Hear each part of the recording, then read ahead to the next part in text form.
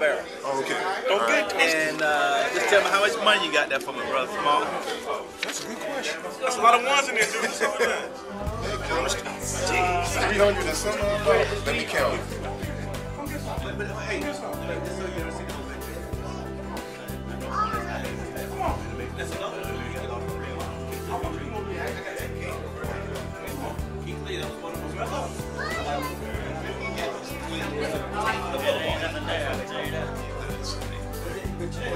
Hey,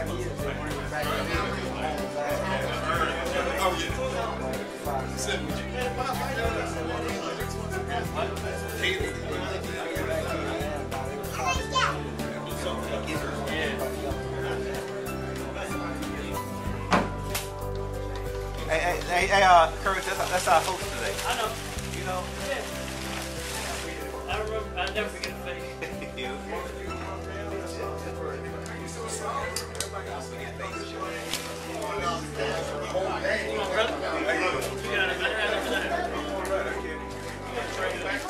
Close it and spin it up, Robert. Close and spin it up.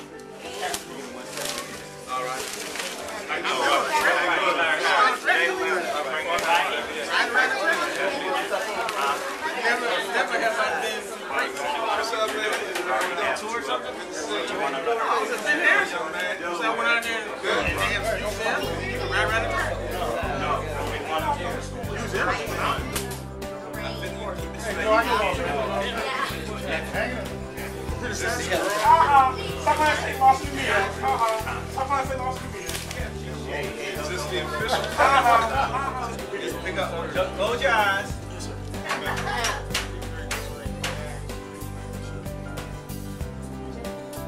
Give it to the bottom. Brother Ben Floyd.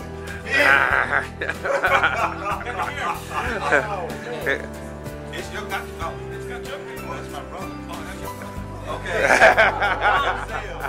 Don Zale Floyd. And, uh, he wears a, a digital camera. The camera is here, and you can take it home with you tonight. He's not one of the one of the. Oh. All right. Go down deep. Get, get, get, get a good winner out of there. Okay, go ahead. Second place winner. Deep, man, deep. One and one. Then again. Oh, that would be funny. Goes to Quinn Pinkney, sold by Brother Joe Briggs. Quentin. You His don't know? brother Quinn. Quinn I didn't win. I'm not That's fine. That's fine. Second place. I'm not. Oh yeah. Hey, hey, Brother Briggs. Quinn Pinkney. Right here, right here, right here. I got, I got a big, I got a big box in my house.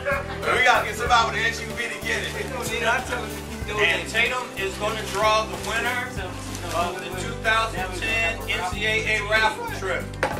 Close your eyes, son. Close your eyes. Reach in there. Grab the winner. George Day. And the winner is Howard Golson, sold by Oscar Daly. Wait, oh!